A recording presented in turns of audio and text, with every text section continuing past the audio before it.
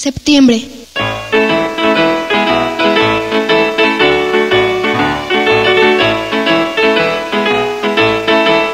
El día 13 de septiembre de 1847, nuestra patria se enalteció con un notable hecho histórico en un gran bosque majestuoso nombrado de Chapultepec.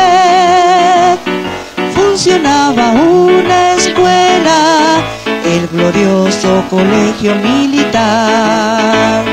Al despuntar este día, el bosque fue invadido por fuerzas norteamericanas que Chapultepec querían.